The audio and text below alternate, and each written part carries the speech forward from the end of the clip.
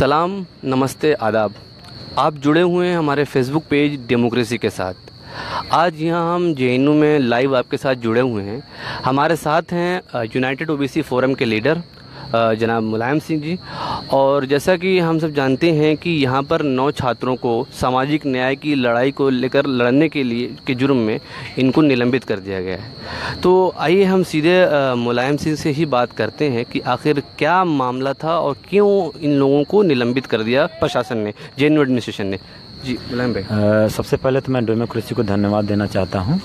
देखिए, इस कैंपस के अंदर जो है, जो जो बात बहुत सालों से दबी रही, वो बात थी कि किस तरीके से तमाम प्रोग्रेसिव और इतना डेमोक्रेटिक और दुनिया, देश की बातें करने वाला एक कैंपस, ब्राह्मणवाद जैसे सवाल को बहुत दिन तक खामोशी के साथ यहाँ करता रहा। ब्राह्मणवादी जो सवाल थे, उस पर चुप्पी साधे रहा और उसी ब्राह्मणवादी सवाल पर जब क्वेश्चन किया गया, जो एक एक इंस्टीट्यूशनल जो डिस्क्रिमिनेशन हो रहा था इस कैंपस में, यानी कि वाइबा ओसे के अंदर जो है जो दलित, पिछड़े, माइनॉरिटी और के से बैकग्राउंड से आने वाले, आदिवासी बैकग्राउंड से आने वाले जो छात्र थे, उनका रिटेन में तो अच्छा नंबर होता था। लेकिन वाइबा में जो उनको दो नंबर एक नंबर करके इस इंस्टीट्यूशन से जे से या हायर एजुकेशन से बाहर कर दी थी। एक साजिश थी। साजिश थी जो अपर कास्ट नेक्सस था, जो गैंग थी, जो ब्राह्मणवादी नेक्सस था, ये उसके तहत लगातार तीस साल, चालीस साल से चलता रहा। हालाँकि इसके पहले, चूँकि लेफ़्ट का करेक्टर इटसेल्फ अपने आप में ब्राह्मण निकल रहा है तो कभी उनका ये ध्यान भी इधर नहीं गया। इस ब्राह्मणवादी जो कुचक्र है उस पर एक सवाल करें। जब यहाँ ओबीसी रिजर्वेशन लागू हुआ 2007 में अर्जुन सिंह के, के बाद जो है मेजॉरिटी तो लागू हुआ। उसके बाद तमाम जगह हर इंस्टीट्यूशन में ओबीसी रिजर्वेशन लागू हो गया। लेकिन जेएनयू पहली ऐसी यूनिवर्सिटी है जो उसको तीन भाग में लागू किया। नौ नौ करके फाइनली 2010-11 में जाके लागू हुआ यानी कि उसको भी लागू करने में यह सबसे लेट यूनिवर्सिटी रही है, पहली चीज़। दूसरी चीज़, दो 2010 में 10 ग्यारह में एक संगठन था A I B S all India backward student forum वो आरटीआई के माध्यम से सवाल उठाया था कि इस वाइवा में बहुत ज़बरदस्त डिस्क्रिमिनेशन होता है और यहाँ पे वंचित तबके से मार्जिनलाइज सेक्सेस आने वाले छात्रों के साथ बहुत ही क्रूरता के साथ भेदभाव होता है। तो उसको लेकर हम लोगों ने 2011 में एक प्रोटेस्ट एमएचआरडी में किया था। उसमें पल्लम राजू जो है एमएचआरडी मिनिस्टर थे। उसके बाद आरटीआई के माध्यम से हम लोगों लगातार सवाल इस कैंपस के इलेक्टोरल प्रोसेस में बना रहा, कि वाइवा का नंबर कम कराना है। लेकिन वही उसी तरह सवाल जो बना रहा, जैसे कि माइनॉरिटी डिप्राइवेशन पॉइंट को लेकर के सात साल से लेफ़्ट पर राजनीति करता रहा है जो भी जो भी फोर्सेस ज़्यादातर कैंपस लेफ़्ट लीनिंग रहा है लेफ़्ट के ऑर्गेनाइजेशन यहाँ जीत कराते रहे वो एक इसको मैनिफेस्टो एजेंडा में तो ज़रूर रखते हैं लेकिन कभी इस पर गौर नहीं करते हैं। जब इसमें हम लोगों ने यूनाइटेड ओबीसी फोरम का फॉर्मेशन हुआ इस कैंपस में बापसा बिरसा अंबेडकर फुले स्टूडेंट एसोसिएशन का जब फॉर्मेशन हुआ जब ये दो तब, जो ताकतें जो तंजीमें हम लोगों ने मिल करके जब तमाम सोशल जस्टिस को सेंट्रिक करके इस कैंपस को जांचने और पड़तालने का काम किया तो बहुत बड़ा लोचा जो है, जो यहाँ के जो प्रोग्रेसिवनेस के जो खोल में नज़र आया, वो ये था कि कास्ट नेक्सस उस कास्ट नेक्सस का जो है, जो खुलासा हुआ अब्दुल नाफे कमेटी के माध्यम से। हम लोगों ने अप्रैल, मई के जो है एकेडमिक काउंसिल मीटिंग 2016 में प्रोटेस्ट किया था एस ट्रिपल एस के बाहर। उस उस प्रो- उस प्रोटेस्ट के माध्यम से हम लोगों ने दबाव बनाया कि एक ऐसी कमेटी बने, जो इस पूरे जो है वाइबा के सवाल में जो डिस्क्रिमिनेशन हो तो उसकी जाँच हो, उस दबाव में फिर जो है एक कमेटी बनाई गई थी, जो वाइस चांसलर ने रिकमेंड किया था, उस हम लोगों के प्रोटेस्ट में। तो अब्दुल नाफे के सुपरविजन में कमेटी बनी, जिसमें पाँच मेंबर थे, दो ऑफ़िस बेरर और भी थे हमारे यूनियन के भी। तो उस अब्दुल नाफे कमेटी ने साफ़ साफ़ जो है, पहली एक कमेटी, इसके पहले सुखदेव थोराट और राजीव भट्ट कमेटी भी बनी थी, लेकिन जिन्होंने सीधे सीधे मेंशन नहीं था, लेकिन डिस्पैरिटी और का जो है ज़िक्र उन लोगों ने भी किया कि बहुत ज़्यादा अंतर जो है वाइबा के में और जो है रिटर्न मार्क्स में होता था। अब्दुल नाफे कमेटी साफ़ साफ़ कही कि हाँ इस कैंपस में जो दलित, पिछड़े माइनॉरिटी और आदिवासी बैकग्राउंड से चुने आते हैं, वो बेटर हैं जो है रिटर्न में, लेकिन उनको इंटरव्यू में एक दो नंबर करके साजिशन यहाँ से बाहर किया जाता है। तब जो है उसमें अब्दुल नाफे ने बोला कि डिस्क्रिमिनेशन होता है। लिहाजा इस डिस्क्रिमिनेशन को कम करने के लिए वाइवा का नंबर जो तीस है, उसको घटा करके पंद्रह कर दिया जाना चाहिए। इसी सवाल को लेकर के हम लोग जो है नाफे कमेटी इम्प्लीमेंट कराने के लिए 26 दिसंबर 2016 को एकेडमिक काउंसिल मीटिंग के बाहर जो है कन्वेंशन सेंटर पर प्रोटेस्ट कर रहे थे। जहाँ प्रोटेस्ट करते हुए जब हम लोगों की कोई बात नहीं सुन रही थी, हम लोगों ने एक अपना एक हमारा रिप्रेजेंटेटिव था। रिप्रेजेंटेटिव के माध्यम से अपनी बात पहुँचाने की कोशिश की, प्रशासन सुनने से मना कर दिया। तब हम लोगों के पास कोई हाथ में चारा नहीं था तो तब हम लोगों ने काफ़ी ज़्यादा प्रोटेस्ट को और तेज किया और जो है नारा लगाते हुए हम लोग जो है एकेडमिक काउंसिल मीटिंग के नहीं उस प्रीमिस जहाँ हो रही थी उसके अंदर हम कन्वेंशन सेंटर घुसे और वहाँ नारा लगाए। मैं थोड़ा हाँ, बात काटना चाह रहा हूँ। हम ये देखते हैं कि लेफ़्ट जो है सामाजिक न्याय में भी उतना ही आगे आगे दिखता है हमको। हमको ऐसे दिखता है कि वो भी उसी तरीके से उन मुद्दों को उठाता है। तो आपने अभी ये एलिगेशन लगाया है कि लेफ़्ट के अंदर भी ब्राह्मणवाद है। तो उसमें कहाँ तक सच्चाई है? जबकि हम देखते हैं कि यहाँ जे जैसे इतने बड़े यूनिवर्सिटी में इतने बड़े बड़े विचारक जो पूरी दुनिया की डिस्क्रिमिनेशन पर बात करते हैं तो वो क्यों अपने डिस्क्रिमिनेशन से चुप थे? देखिए, जो लेफ़्ट का जो करेक्टर रहा है ना, मैं उसको कहते हैं कि एक जो जो स्ट्रक्चरल उसमें प्रॉब्लम रही है। आप देखिएगा तो गिनाने गिनाने तो हमारे यहाँ देखिए सब दलित भी हैं, पिछड़े भी हैं माइनॉरिटी के लोग भी हैं, खासा प्रोग्रेसिव हैं। लेकिन वो सारे कह से कहीं ना कहीं एक नॉमिनेटेड टाइप के लोग हैं। यानी कि उसमें जुड़ रहे हैं, लेकिन उसका जो जो एजेंडा डिसाइड करने वाला, जो उसके मैनिफेस्टो डिसाइड करने वाले पॉलिसी मेकिंग है, वो अभी भी जो अपर कास्ट है, वो सवर्ण लीडिंग जो है उसमें उनका स्ट्रक्चरल प्रॉब्लम है। दूसरा बात, जो जो भी वंचित तबके वहाँ हैं, वो कहीं ना कहीं जो ग्राउंड पर हैं झंडा उठाने के काम में है पोस्टर लगाने का काम आते हैं, लेकिन कभी भी वो अपना एजेंडा सेट नहीं कर सकते वहाँ पर। जो जो भी अभी लेफ़्ट के अंदर अपना एजेंडा सेट करने की कोशिश किया, पसमंदा का सवाल उठाने की कोशिश किया गया, पिछड़ों के सवाल उठाया, दलित का सवाल उठाया तो ही उनको या तो साइड कर दिया गया, या तो निकाल दिया गया, या वो खुद ही छोड़ने के लिए मजबूर हो गए। इसका सीधा सीधा उदाहरण मैं खुद ही हूँ। जब हम लोगों ने अंबेडकर के प्रतिमा को पहली बार जो है, या अंबेडकर के फ़ोटो को अपने पोस्टरों में चे गोयरा के साथ लगाना शुरू किया तो हमारी party, communist party of India के हमारा जो सेक्रेटरी था धीरेन्द्र शर्मा उसने आपत्ति की। ये इंटरनल मामला, लेकिन आज आपके सामने हम कन्फ्रेस कर रहे हैं। इसी तरह कई ऐसी बातें हैं जो जिस तरीके से दलित पिछड़ों की, को देखने का जो नज़रिया सामंती और ब्राह्मणिकल रहा है, कम्युनिस्ट पार्टी के लीडरों का भी वही वही सामंती और ब्राह्मणिकल बिहेवियर रहा है। दूसरी बात कैंपस के अंदर जो है, देखिएगा तो जो हमारे यहाँ जो दलित पिछड़े रहे हैं उन्हीं के भरोसे इनकी पार्टियाँ चलती हैं। लेकिन जो है वो केवल नारा लगाने झंडा बैनर उठाने तक सीमित रहे हैं। उनकी अपनी कोई राजनीति नहीं रही है। वो कहेंगे ऊपर गाइडेड पोलिट ब्यूरो से गाइडेड एक पॉलिटिक्स थी। आपका कहना है कि कोई भी पसमानदा या दलित पुलिस ब्यूरो तक नहीं पहुँच सकता। ये आप देखिए कि लेफ़्ट की मतलब ये बहुत रियलिटी है। अगर इस बहुत सी उसको मटेरियल कंडीशन के टर्मोलॉजी में अगर हम देखें तो चूँकि अपर कास्ट इस कैंपस इस देश के अंदर ज़्यादा पढ़ा लिखा रहा है उन्हीं के पास वो विदेश पढ़ के आया और मार्क्सिज्म के विचारों को वही यहाँ कैंपस में ले आया। तो वो यह जस्टिफिकेशन देते हैं कि जनाब जो वही पढ़ा लिखा सबसे ज़्यादा था तो उसी वही मार्क्सवाद को सही समझा और जिस भी तरीके से इम्प्लीमेंट करने की कोशिश लेकिन सवाल है कि जब इस मार्क्सवादी विचारधारा अलग बात है, जो मार्क्सवाद की विचारधारा को ग्राउंड पर जो पहुँचाने वाला था, वो ज़्यादातर पसमंदे और बैकवर्ड नेता थे, जो अपने जनता के बीच सबसे ज़्यादा सम्मानित थे और जन लीडर हैं। वो मास लीडर हैं, लेकिन पोलिट लीडर के सामने उनकी कोई हैसियत नहीं थी। ये बेसिक कंट्राडिक्शन जो लेफ़्ट के, के, के स्ट्रक्चरल जो है स्ट्रक्चर में या उसके पार्टियों में रहा है। वो आज भी है आज भी जो है जो मास लीडर है लेफ़्ट का। उतना बड़ा उसको सम्मान नहीं है जितना कि जो पोलिट ब्यूरो का जो लीडर सम्माननीय। यानी जितना बड़ा जनरल सेक्रेटरी सम्माननीय है उतना बड़ा मास लीडर कितना मास मोबिलाइजर वो सम्माननीय। ये उसका बेसिक फंडामेंटल दिक्कत है। एक, एक और सवाल है जैसे हमने कन्हैया के मामले में देखा कि वो जय भीम लाल सलाम का नारा दे रहे हैं। तो अभी आपने कहा कि आपने जो पोस्टर लगाया था तो उस पर दिक्कत हो गई। तो फिर ये जो शिफ्ट हुआ वो उसको हम कैसे देखें? ये जय भीम लाल सलाम 2012 की घटना है। मतलब 2012 के बाद जब यहाँ पर ओबीसी की तादाद आ गई, दलितों की एक तादाद आ गई, तंजीमें बनना शुरू हुई पिछड़ों की तो उसके दबाव में, ये मैं कह रहा हूँ कि यहाँ जो है लेफ़्ट का जो करेक्टर जो है, गिरगिट प्रवृत्ति का शिकार हो जाता है। कि अब उनको लगा कि मांस जो दलित पिछड़े जो हमसे खिसक रहे हैं तो लो, अब हम क्या है, अपना कलर बदल लेते हैं थोड़ा सा।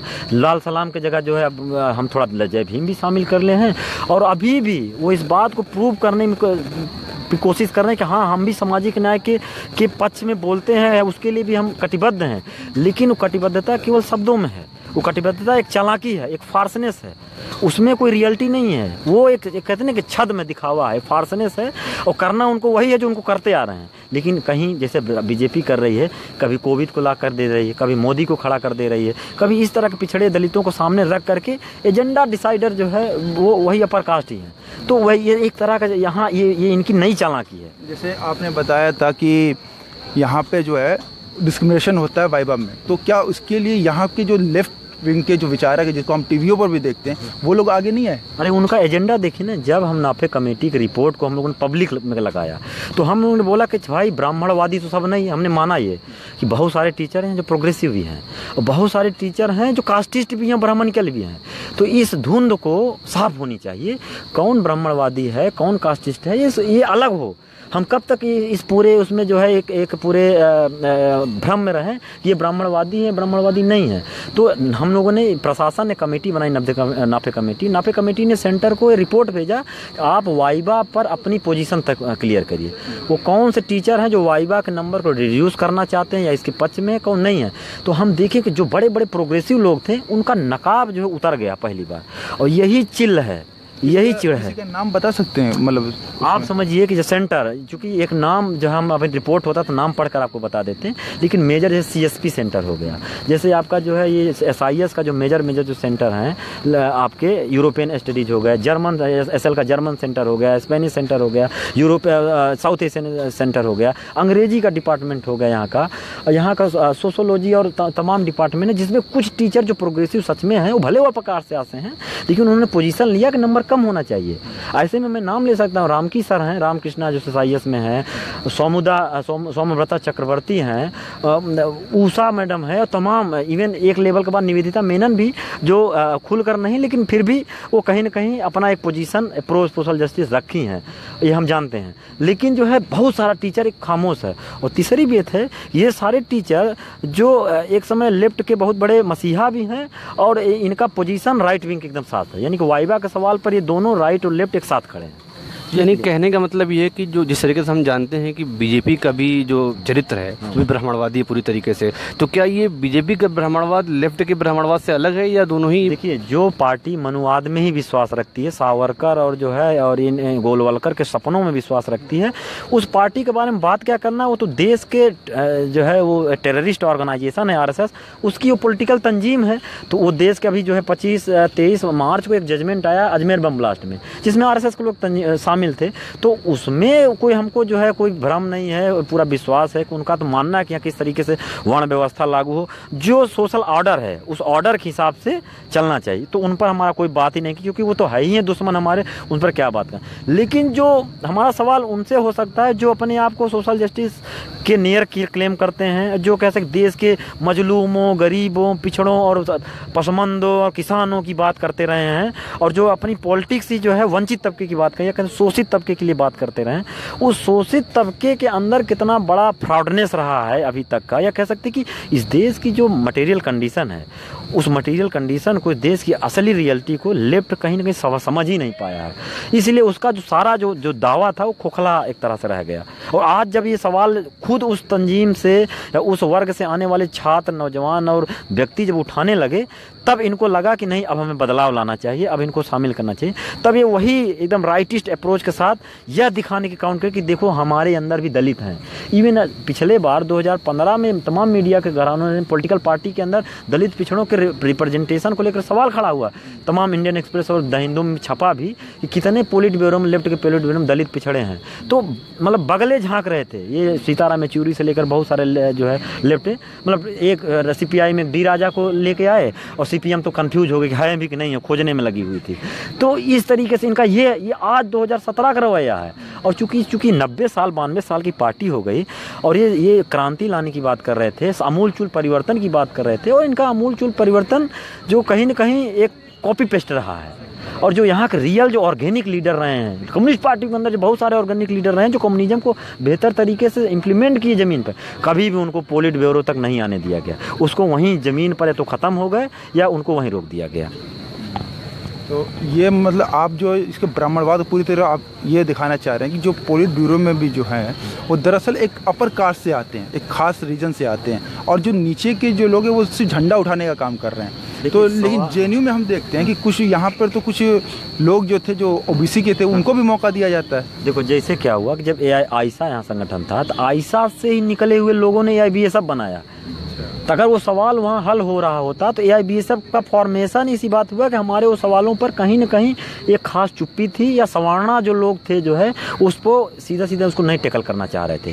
क्योंकि उनका अपना जो कैरेक्टर है, अपनी जो लॉबी है, अपना जो जमात है, वो नाराज़ हो जाती। तो इस इलेक्टोरल पॉलिटिक्स इसको बाकायदे इन्होंने इसको समझा है। इसलिए कहने को तो ये आइडेंटिटी पॉलिटिक्स नहीं करते हैं, कि क्लास की पॉलिटिक्स करते हैं। लेकिन क्लास पॉलिटिक्स ये के नाम पर सीधे सीधे आइडेंटिटी पॉलिटिक्स ही करते हैं। मैं आपको अपने तजुर्बे से बता रहा हूँ कि मैं चुनाव भी लड़ा, मैं भी खुद एक लेफ़्ट पार्टी का ऑर्गेनाइजेशन का पार्ट रहा हूँ कि हर एक लेफ़्ट ऑर्गेनाइजेशन में कोई माइनॉरिटी सेल है, दलित सेल है, पिछड़ा सेल है और हर पिछड़े के नेताओं को ज़िम्मेदारी इलेक्शन में दी जाती है कि जा करके पिछड़ों के बीच में भैया, बाबू और इस तरह के जात जमात के नाम पर मोबिलाइज करो वोट को। ये मतलब कह सकते प्रैक्टिकल बातें ये कहीं थ्योरी और पर्चे में नहीं मिलेगा। लेकिन मैं मैं कह रहा हूँ कि हमारा जो स्व स्वानुभूत जन जो ज्ञान है तो उससे मैं ये बात कह रहा हूँ क्योंकि मैं भी उसी पार्ट ना हूँ, उनकी चूल्हे की आग में जानता हूँ।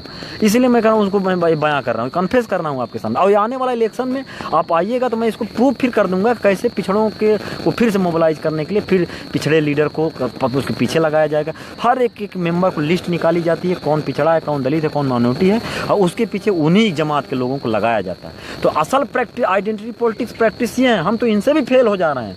हम लोग अपनी जो खुद, जो कि जिस आइडेंटिटी का, मैं एकदम आपको खुल्लम खुल्ला जो है ये कोट करना चाहूँगा कि इस देश के अंदर जितना भी ऑपरेशन हो रहा है ना, वो आइडेंटिटी पर हो रहा है। अखलाक की हत्या आइडेंटिटी पर हुई है क्लास के पे नहीं हुई है। ऊना में जो दलितों को मारा गया कंप्लीट आइडेंटिटी दलित होने के नाते मारा गया, जुनैद को जो मारा गया, उसके मुसलमान होने के नाते मारा गया। इसलिए मैं कह रहा हूँ कि सवाल जो आइडेंटिटी का है, वो आइडेंटिटी ही फेस कर रही है। इसलिए हम लोग जो फेस जो फेस कर रहे हैं जिस ऑपरेशन को फेस कर रहे हैं, वही लोग इस ऑपरेशन से निजात पाने के लिए खड़ा होगा, तभी इसका समाधान हो सकता है। कोई भी सामाजिक न्याय की राजनीति कोई राजनीति उधार की राजनीति नहीं हो सकती। जो इसको फेस कर रहा है जो इसको सह रहा है उसी के जमात से निकले हुए जो योद्धा होंगे वही इसको आगे ले जा सकते हैं ये कहो कि सामाजिक न्याय दलित पिछड़ों की राजनीति कोई अपर कास्ट आकर लीड करे। अब ये हमारे पिछड़ों और आ, कह सकते हैं कि पसमंदों में भी ये बात बहुत क्लियर हो चुकी है। और हमें बात कहना चाहिए कि पसमंदा जमात अब इस बात से एकदम मतलब बहुत दिन तक भ्रम में रहा अब निकल आया है। अब निकल आया कि ये लड़ाई हमें खुद लड़नी है और इसका कोई और दूसरा सानी नहीं है। बहुत बहुत शुक्रिया मुलायम भाई। जैसा कि मुलायम भाई ने बताया कि उधार, सामाजिक न्याय की लड़ाई उधारी की लड़ाई नहीं होती। तो तमाम बातें आपके सामने आ गई हैं और एक किस्म की जो लड़ाई है सामाजिक न्याय को लेकर, उन तमाम मुद्दों पर विभाग राय रखी मुलायम भाई ने। इस चर्चा के साथ हम और भी लोगों से, इस चर्चा के ज़रिए इस मुद्दे को लेकर हम और लोगों से चर्चा करेंगे। तब तक आप हमारे साथ जुड़े रहिए, इस वीडियो को शेयर कीजिए और लाइक कीजिए और हम आपके साथ फिर जुड़े रहेंगे। धन्यवाद। जय हिंद।